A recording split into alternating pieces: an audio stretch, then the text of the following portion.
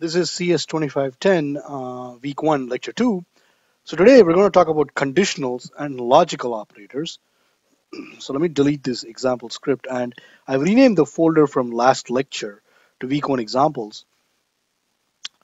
So today what we're going to talk about is we're actually going to minimize. So let me start the script. So here's the MATLAB editor. So compute minimum of the quadratic function ax squared plus bx plus c on the interval L comma R. So basically the, the minimum is when the derivative is equal to zero. So x min is when you take the derivative of the quadratic, you get 2ax plus b. So your x min is going to be minus b over 2 times a, okay? However, uh, this is true if x min is so if x min is between is in that interval, so it's between L and R, okay. If not, so if x min is greater than or equal to R, uh, f min equals f of R, okay and if x and if this point I mean basically if the point lies outside the interval f min equals f of L and obviously the assumption here is L is less than R. So of course what we will do is we will uh, plot a quadratic function and understand these ideas. But in order to do that, we need to know how to plot functions in MATLAB. And we'll only get into plotting. I mean, we will get into plotting by week three, but that's when we'll get into it. We won't get into it next week. However, plotting is pretty easy to uh, understand in the sense, let's just do an example. Okay, so basically the command, so let's do this. This is, uh, I don't know, let's call this quadratic minimum. Okay, so the command we'll use, let me turn on more functionality. Oh, called plot, okay, simple enough. But we basically need to give it the range of, we need to give the function the range of x values and the corresponding y values. Let's plot a sine function and a simple way to generate the range of x values is to use what is called as the linspace command. So linear space, obviously there is log space also, we won't use it. So we will use the second form, that is, it generates n points between x1 and x2. Well, how many points is enough? Depends on your function and among uh, and a lot of other things. We'll cover all that in week three, but for now, let's just see the sine function from zero to so 2 pi, okay, let's make a thousand points. Put a semicolon and y is sine of x, okay, put a semicolon there, and then plot x comma y. You can see that's looking pretty good, right? But then now let's just see what the effects of having a minimum number, I mean, not minimum, a small number of points. So let me compute the sine and do that. And you can see that that does not even look like the sine function and the sine function that we're used to. So you can do a lot of things with the plot command. I mean, I'm just going to do one more example. So in this sense, I'm going to redefine my x, okay? What I'm going to call my y1. So let me recompute my y. But one thing I can do is I can hold this figure and I can plot for comparison my new sine, right? But in the color red, my new sine function, and there you can see the difference, okay? So anyway, let's plot our, so let me clear all, okay? Let me go back into my quadratic minimum, but what I'm going to do now, let me close the figure, and for that, you can use the close all command, right? We'll talk about figure handles, etc. in week three, that is closing specific figures, but for now, let me get into the editor there and then uh, so let's what we can do is let's first ask the user for uh, so let's do sprintf uh, but well let's do this.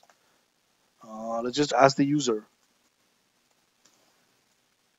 for the coefficients. Oops enter a. And this should be a b x squared plus bx plus c enter b okay and c enter c okay and the left end point L comma R and the point I want to make is one of the cool things about MATLAB is the initial comments that you write can will become it's not can will become the output the help command watch. So quadratic minimum. There. How beautiful is that? Okay. So anyway let's continue. So I have to basically say, oh, a is the coefficient of x squared and f of x. The comments explain all that. So then if you want, well, I was going to say L is less than R, but that was already given up in the comment. So let's just leave that. And then let's compute x min. We know well, is minus b over 2a, but we are not done. In the sense, we have to uh, check all these conditions and for that we will use conditionals and logical operators okay the conditional that we'll use is what is called as the if else okay we can use else if else if and notice MATLAB is tab aligning it properly else and then end but we don't need the else ifs okay so we can just do if else end. And these are, notice that MATLAB is also highlighting these keywords in blue. So these are reserved words, right? So basically we can say that if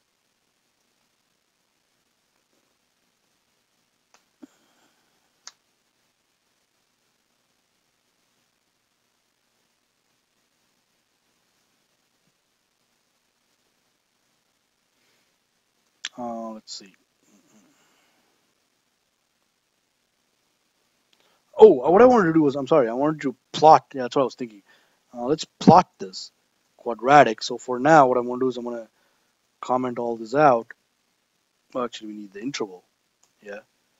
So what we'll do is we'll uh, let's generate linspace left, right, 100 points. Okay.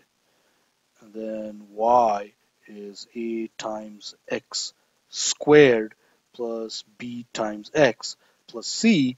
Now something about MATLAB is, and I'll talk about this later, we will use the dot operator because everything in MATLAB is a matrix and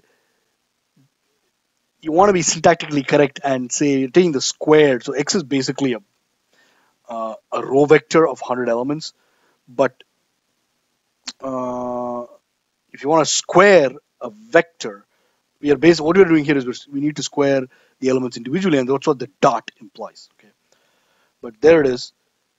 Um,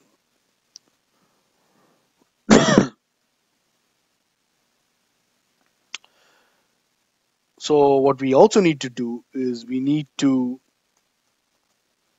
make sure that the constant c is a vector. So right there. So let's just execute this script and you'll understand what I'm talking about when we look at the size of the variables in the workspace. So quadratic minimum.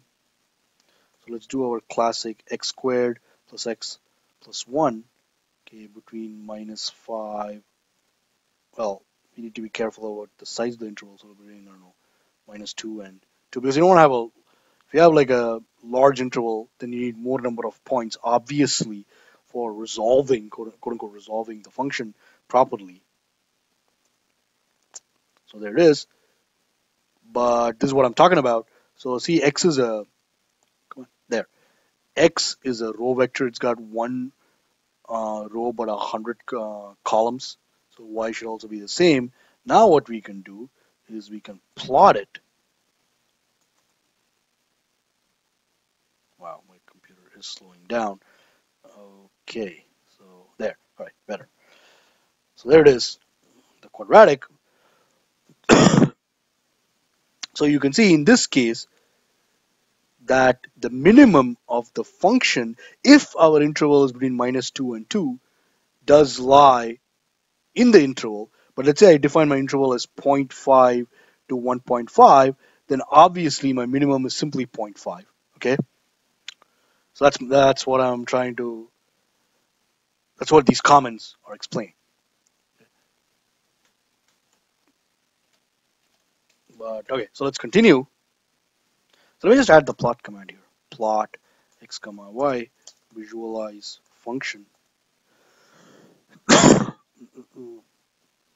yeah, in this case, I've plotted uh, what I just described was I've plotted the function over our interval of interest. But my point is I could my point of showing you the interval 0.5 to 1.5 is to explain to you the idea that you have to check where my minimum lies. Okay, so let's do that check using the if.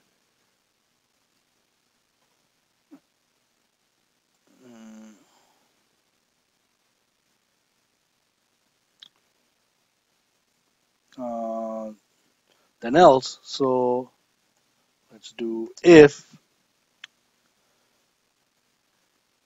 x min. So let's do this. If L is, let's just translate this. Less than, so let's define our x min. Oops, I've already done that here. So if L is less than x min, so that's the less than operator, and so this is the logical AND operator in MATLAB. X min is less than R. Okay.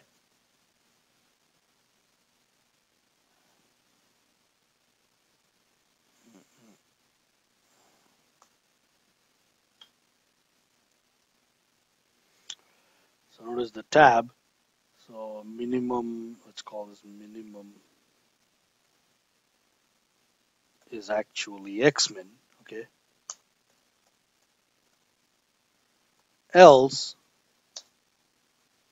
well, in this case, we will do an else if.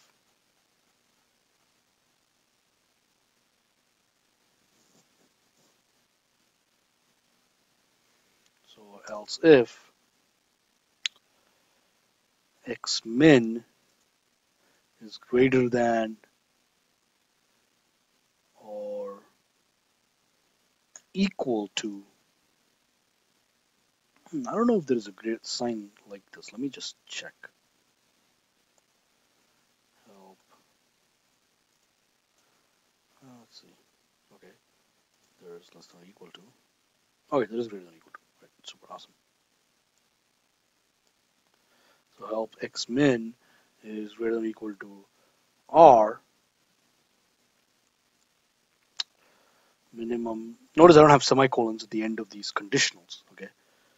Is so let's just evaluate this. So it's going to be 8 times r squared plus notice I don't have the I don't need the dot here okay? Because r is a scalar. It's a one by one matrix. Ax squared plus bx plus c else minimum is E times L squared plus BL plus C end, okay? So let's just check our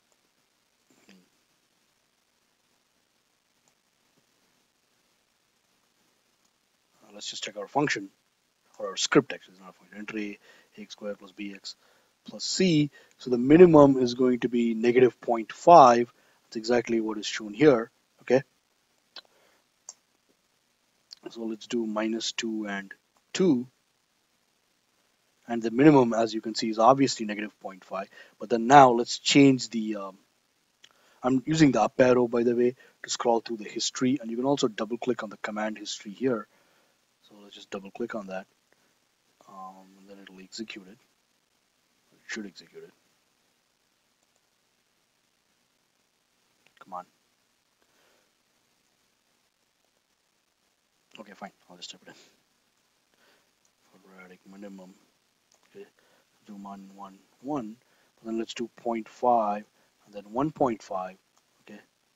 And then you can see that something's wrong. That the minimum is.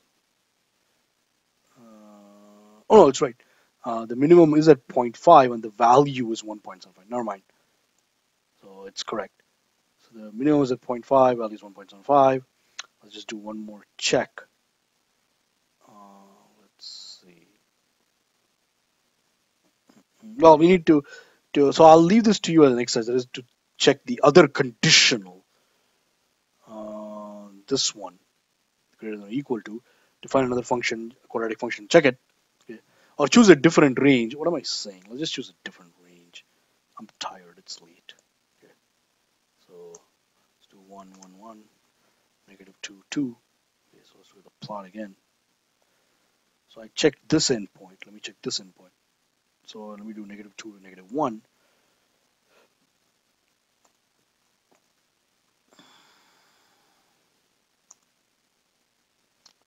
and the minimum is at negative 1, which is 1.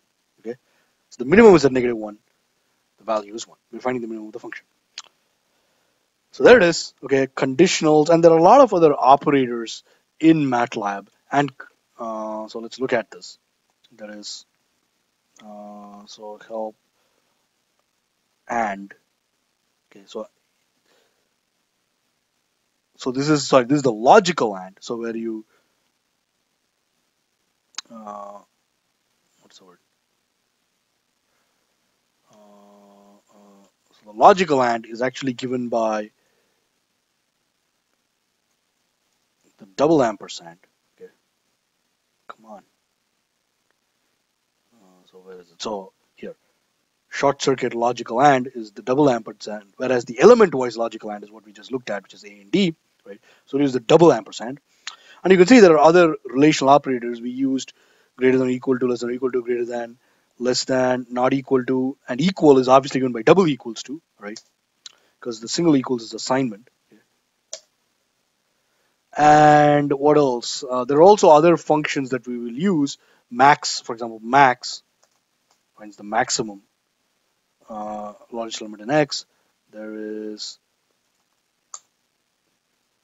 minimum okay then let's see uh, there is the some other functions we'll use are floor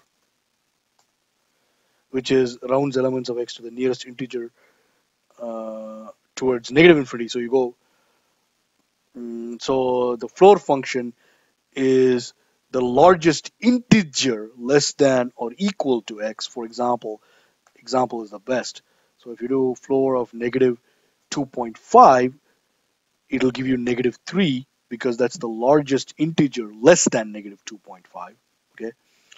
And then ceiling is obviously the smallest integer greater than uh, x that is ceiling of x so this should give you negative 2 okay? Oops no ceiling. Oh it's called remember okay?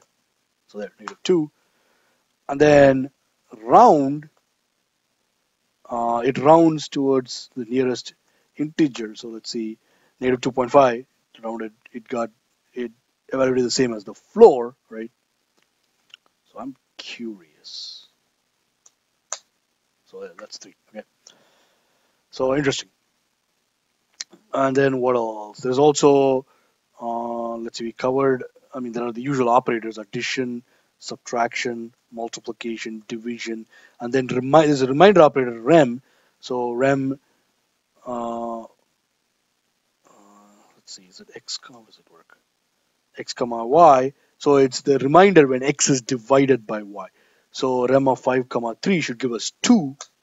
There it is. And yeah. So we actually covered a lot in MATLAB.